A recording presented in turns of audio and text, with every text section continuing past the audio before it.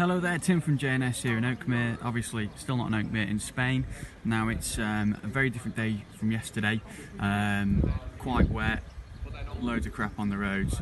Um, so basically, just a typical British summer. Uh, so I rode this. This is the new Z H2 yesterday in lovely dry weather, and it's an absolute mind-bending time machine of a bike.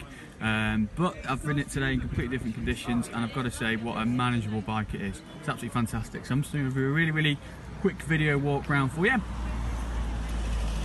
As you can see, it gives you an idea of the condition on the roads today.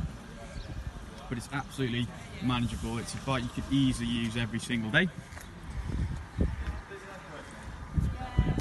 So I've had it in rain mode. You don't a bit scared,